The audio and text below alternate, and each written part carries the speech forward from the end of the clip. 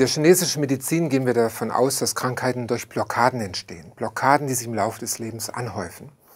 Diese Blockaden beschleunigen den Alterungsprozess und sind verantwortlich für vielerlei Krankheiten.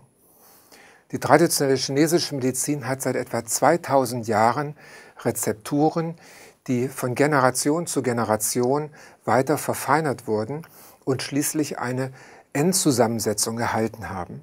Und so kann man sagen, etwa, dass seit dem 15. und 16. Jahrhundert die wichtigsten chinesischen Rezepturen in unveränderter Form bis heute erfolgreich eingesetzt werden. Das heißt, wir haben hier ein gereiftes Wissen, das von Generation zu Generation weitergegeben wurde, weil es wirkt, weil es sich bewährt hat.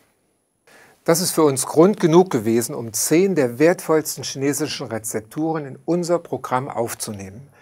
Diese zehn Rezepturen möchte ich Ihnen in den folgenden Filmen kurz vorstellen.